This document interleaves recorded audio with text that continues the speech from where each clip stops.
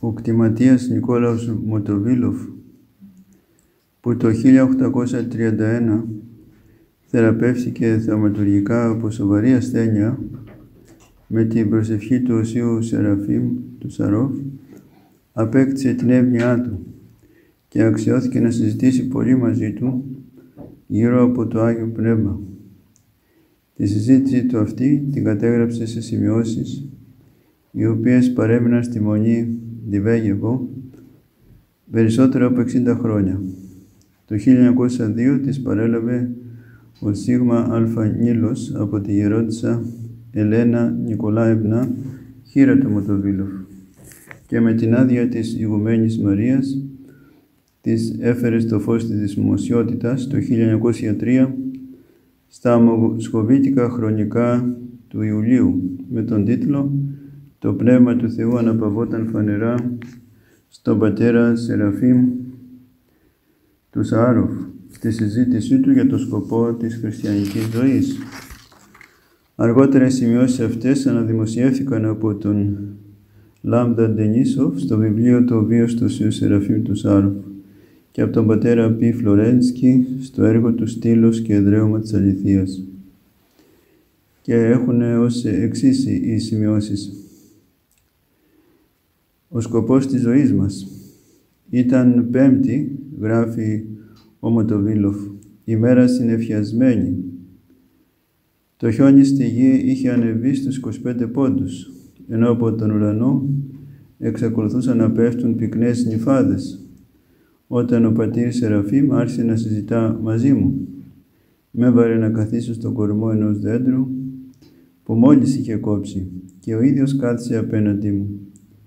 Βρισκόμασταν μέσα στο δάσος, κοντά στο ερημητήριό του, πάνω στο λόφο που κατέληγε στις όχθες του ποταμού Σάροφκα. Ο Κύριος μου αποκάλυψε, είπε ο μεγάλος Στάρετς, ότι από τα παιδικά σας χρόνια επιθυμούσατε πολύ να μάθετε ποιος είναι ο σκοπός της χριστιανικής ζωής και είχατε ρωτήσει πολλές φορές μεγάλες πνευματικές προσωπικότητες. Βλέπουμε πως ο, ο Άγιος με πολλή ταπείνωση λέγει μια αποκάλυψη, διηγείται μια αποκάλυψη που αφορά τον συνομιλητή του, μια αποκάλυψη του Αγίου Πνεύματος. Και βέβαια αυτό δεν το κάνει από καινοδοξία, αλλά για να βοηθήσει τον συνομιλητή του. Πράγματι, απήντησα, λέγει ο Μοτοβιλόφ. Από την ηλικία των 12 ετών με απασχολούσε επίμονα αυτός ο λογισμός και είχα απευθυνθεί σε πολλούς πνευματικούς ανθρώπους, αλλά οι απαντήσεις τους δεν με ικανοποιούσαν. Μάλιστα, συνέχισε ο πατήρ Σεραφείμ, κανείς δεν σας είχε δώσει οριστική απάντηση. Να ποιος είναι ο σκοπός της χριστιανικής ζωής, έλεγαν. Να πηγαίνεις στην Εκκλησία, να προσεύχεσαι στον Θεό, να τηρείς τις εντολές Του, να κάνεις το καλό. Ορισμένοι δυσανασχετούσαν μαζί σας και σας έλεγαν ότι ασχολείστε με μια περιέργεια που δεν αρέσει στο Θεό. Μη ζητάς πράγματα πάνω από τις δυνάμεις σου, συμπλήρωναν. Κανείς όμως δεν σας έδωσε τη σωστή απάντηση. Ορίστε λοιπόν, εγώ ο πτωχός Σεραφείμ, θα σας εξηγήσω τώρα ποιος είναι πράγματι αυτός ο σκοπός. Μιλάει με πάρα πολύ μεγάλη ταπείνωση. Αλλά και διορθώνει όλες αυτές τις απαντήσεις που δεν αφορούν στο σκοπό, αλλά στα μέσα. Μέχρι τώρα δηλαδή του έλεγαν του Μοτοβίλοφ ως σκοπό αυτά που είναι μέσα της χριστιανικής ζωής και τελειότητας. Την προσευχή, το να πηγαίνει στην εκκλησία, το να κάνει το καλό. Απαντάει λοιπόν ο Άγιος Σεραφείμ, η προσευχή, η νηστεία, η αγρυπνία και κάθε χριστιανικό έργο, όσο και αν είναι καλό κάθε αυτό, δεν αποτελεί το σκοπό της χριστιανικής μας ζωής, αλλά χρησιμεύει ως μέσο για την επιτυχία του. Ο πραγματικός σκοπός της χριστιανικής ζωής είναι η απόκτηση του Αγίου Πνεύματος.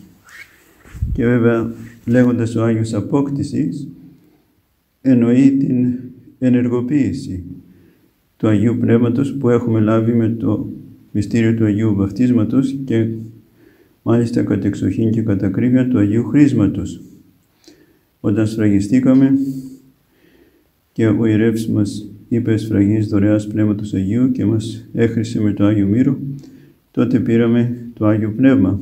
Αλλά δυστυχώς, όπως έλεγε και ο Άγιος Παΐσιος, αυτό το Πνεύμα του Άγιου το βαζώσαμε κάτω από πολλές αμαρτίες και πολλά πάθη. Και χρειάζεται αυτή η διαδικασία της κάθαρσης του εντός εγωικών ξεπαζώματος, ώστε να φανερωθεί πάλι αυτή η κρυμμένη χάρις, η βαπτισματική χάρις, η χάρις του Αγίου Πνεύματος και να ενεργοποιηθεί.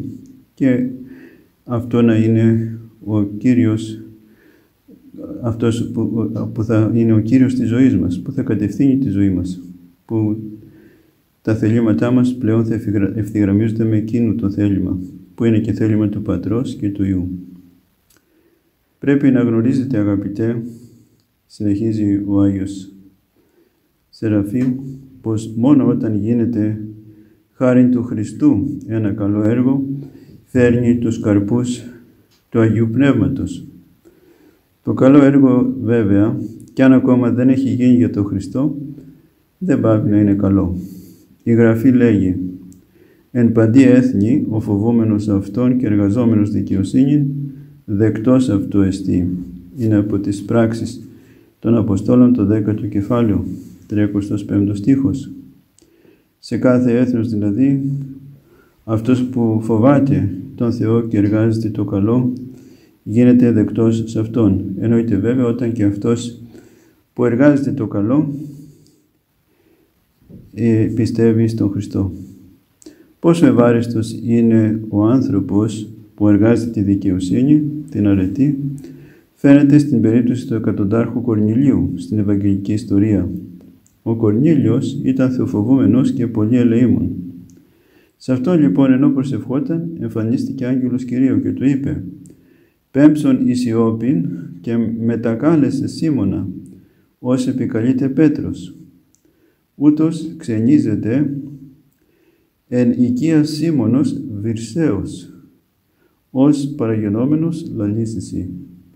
Στείλε στην Ιώπη και κάλεσε τον Σίμωνα που ονομάζεται Πέτρος και αυτός φιλοξενείται στο σπίτι του Σίμωνα του Βυρσοδέψη, ο οποίος θα έρθει και θα σου μιλήσει. Ο Πέτρος μίλησε στον Κορνήλιο για την αιώνια ζωή, γιατί ανταποκρίθηκε ο Κορνήλιος στην κλίση του Θεού και πίστεψε και αυτός και όλη η οικογένειά του. Ο Κύριος χρησιμοποιεί όλα τα θεϊκά του μέσα για να δώσει την ευκαιρία σε έναν τέτοιο άνθρωπο όσο αμοιβή για τα καλά του έργα να μην στερηθεί την αιωνία μακαριότητα. Από την Ευαγγελική αυτή διήγηση συμπεραίνουμε πως ο Κύριος όσον αφορά τα καλά έργα που δεν γίνονται για Αυτόν περιορίζεται στο να μας δώσει τα μέσα για να τα αξιοποιήσουμε. Δηλαδή, βλέπει ο Κύριος στον κάθε άνθρωπο τι εργάζεται και αν εργάζεται το καλό, προσπαθεί να του δώσει την ευκαιρία ή μάλλον του δίνει την ευκαιρία και τον καλεί να πιστέψει έτσι ώστε αυτά τα καλά έργα που έκανε που μέχρι τότε δεν τα έκανε για τον Χριστό να τα αξιοποιήσει ώστε πιστεύοντας αυτόν να λεωριαστούν και αυτά ως έργα για τον Χριστό. Από εμάς πλέον εξαρτάται, λέει ο Άγιος, αν θα τα αξιοποιήσουμε ή όχι. Αν θα ανταποκριθούμε δηλαδή στην κλίση που θα μας κάνει ο Θεός να πιστέψουμε σε Αυτόν. Οπότε ό,τι καλό έχουμε κάνει ως τότε, λογαριάζεται ότι το κάναμε για Αυτόν. Να γιατί είπε ο Κύριος στους Εβραίους, «Ή τυφλή είτε, ουκαν είχετε αμαρτία. Νη δε λέγεται ότι βλέπομεν, ιούν αμαρτία, ημών μένει. Αν λέγει είσαστε τυφλοί, δεν θα είχατε αμαρτία. Τώρα όμως λέτε ότι βλέπουμε και η αμαρτία σας λοιπόν παραμένει.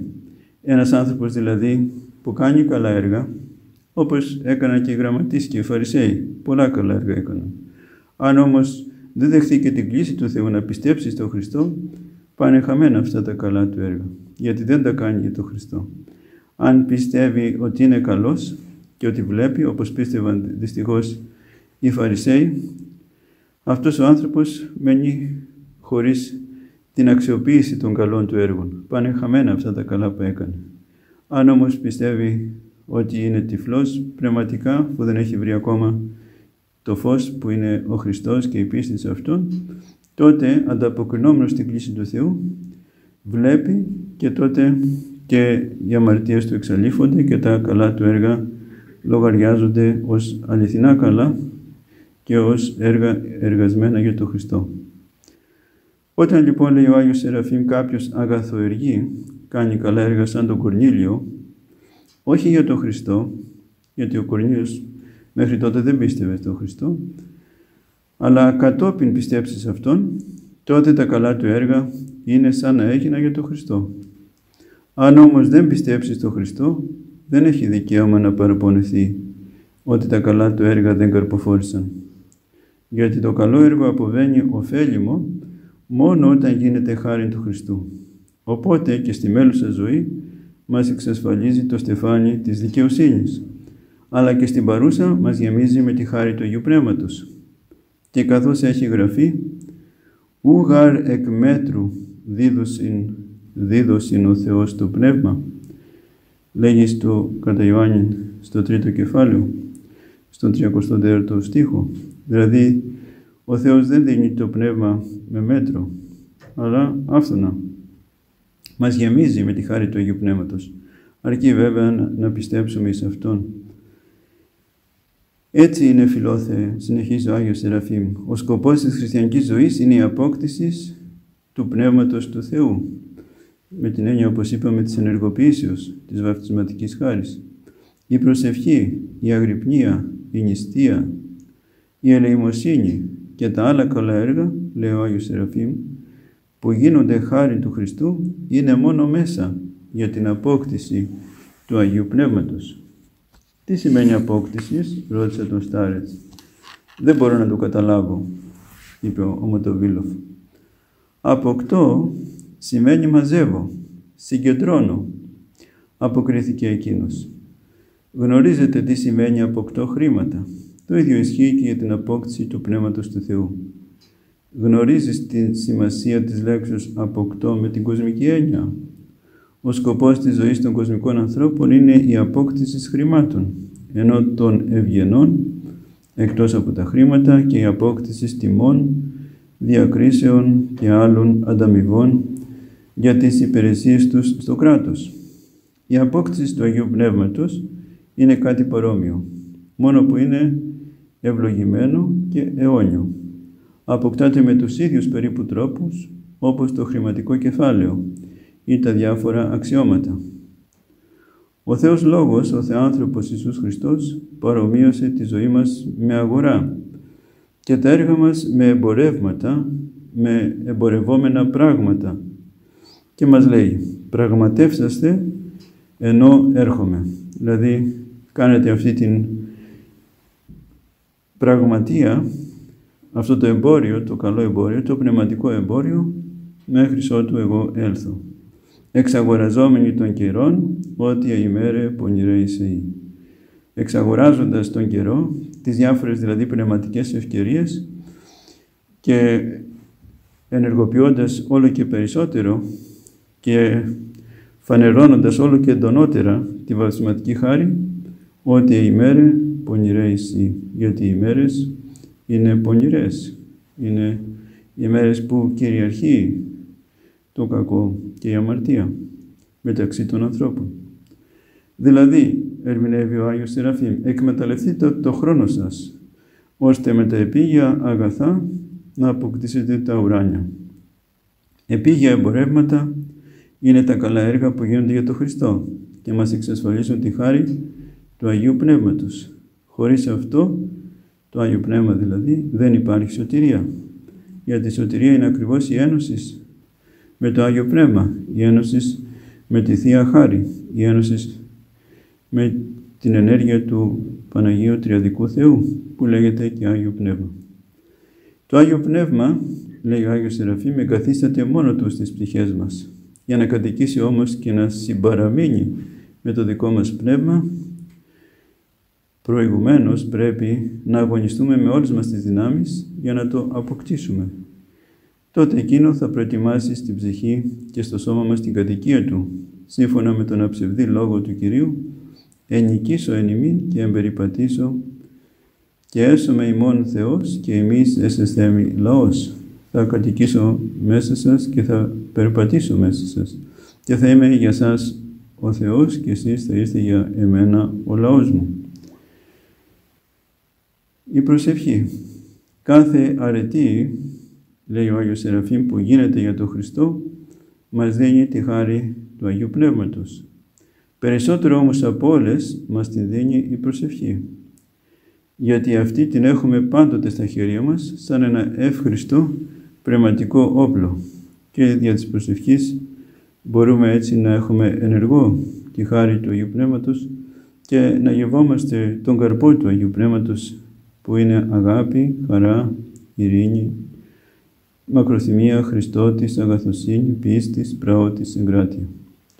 Θα θέλατε, λέει ο Άγιος Σεραφείμ, παραδείγματος χάρη, να πάτε στην Εκκλησία. Αλλά η Εκκλησία δεν υπάρχει. Η μπορεί η ακολουθία να έχει τελειώσει. Θα θέλατε να δώσετε κάτι στον επέτη, αλλά επέτης, ζητιάνος δεν υπάρχει ή μπορεί να μην έχετε να του δώσετε. Θα θέλατε ίσως να φυλάξετε παρθενία, αλλά είτε η ιδιοσυγκρασία σας, είτε η πίεση των τεχνασμάτων του εχθρού, εν συνδυασμό με την αδυναμία σας, δεν σας αφήνουν να αντισταθείτε και να εκπληρώσετε αυτή την επιθυμία σας. Θα θέλατε ακόμη να κάνετε και κάποια άλλη αρετή, χαρή του Χριστού, αλλά δεν έχετε δυνάμεις ή δεν δίδετε η κατάλληλη ευκαιρία. Με την προσευχή όμως δεν συμβαίνει το ίδιο. Για αυτή υπάρχει πάντοτε και για τον καθένα η δυνατότητα για τον πλούσιο και τον πτωχό, τον ισχυρό και τον αδύνατο, τον διάσημο και τον άσημο, τον υγιή και τον ασθενή, τον δίκαιο και τον αμαρτωλόν. Μεγάλη είναι η δύναμη της προσευχής. Αυτή περισσότερο από όλα μας παρέχει το Πνεύμα του Θεού. Μας δίνει το Άγιο Πνεύμα, ενεργοποιεί το Άγιο Πνεύμα. Περισσότερο από όλες τις αρετές. Και αυτήν ευκολότερα από όλα μπορεί καθένας να την επιτελέσει. Με την προσευχή αξιωνόμαστε να συζητάμε με τον Πανάγατο Θεό και Σωτήρα μας. Πρέπει όμως να προσευχόμαστε μόνο μέχρι ότου ο Θεός, το Πνεύμα του Άγιο, μας επισκεφθεί με τη χάρη Του στο μέτρο που Αυτός γνωρίσει. Και όταν Αυτός ευδοκίσει να μας επισκεφθεί, τότε πρέπει να σταματήσουμε την προσευχή. Γιατί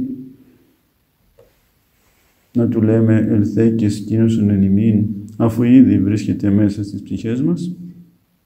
Και εδώ βέβαια ο Άγιος μεταφέρει και την δασκαλία των άλλων Αγίων Πατέρων, γιατί όταν κανείς ενωθεί με το Θεό βέβαια μετά πάβει η προσευχή.